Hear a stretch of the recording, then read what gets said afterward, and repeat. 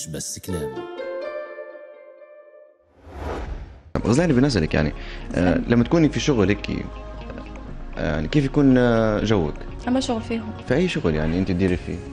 بالنسبة لي في أنا عملك هذا أنت. هذا عملي إيه. آه برغبة مني حتى- كون مرتاحة. حتى يكون عندك ضغط في الشغل هل تكوني أنت يعني مزاجك حلو أو لا؟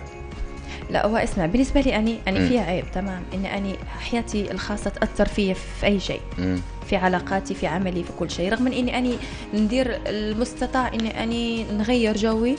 فضروري الناس يحسوا إني غزلان مجتمع يعني ممكن أكثر المشاهدين لما في مرات في الحلقات يقول لك غزلان خيرك اليوم مش جوك مش تمام خيرك كذا لأني متعودة نضحك هلبة فلما ما نضحكش وكذا فواضح ان جوي خير لكن حاول إني أني نغير جوي باهي لو ما فيش مشاكل. يعني آه، مشاكل شخصية وأنت إيه. يكون عندك في شغل وأنت في حالة ضغط شغل في شغلك إيه. آه كيف يكون مزاجك هل أنت تكوني من النوعية اللي ما تحبش حد يكلمها في حالة الشغل أو من النوعيه يعني تكون متنرفزة لما يكون عندها ضغط تكون تتعافلق النوعيه هذه في يعني نوعية في اللي يستمتع لا، لا، لما بالعكس، لما يدير شيء يحبه. آه، إيه. يكون مستمتع. لا أنا مستمتعة جدا ممكن حتى الاتصال يتصل بأي شخص ممكن شخص يتصل يقول حاجة سلبية يعني فيها مش حنتكلم لأن هذا رأيها الخاص مش حنزعل نهائيا.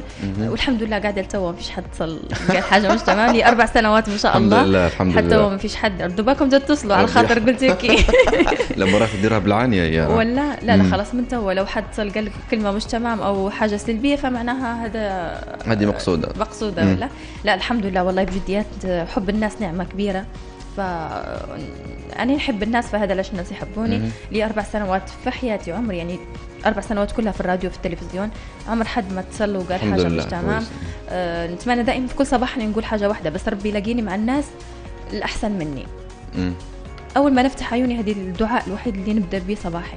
والحمد لله صح يعني لا في الشارع ولا في أي مكان أنا يكون فيه دائما ربي يلاقيني مع الناس طيبة ومع الحمد الناس لله كويسة. الحمد لله كويس.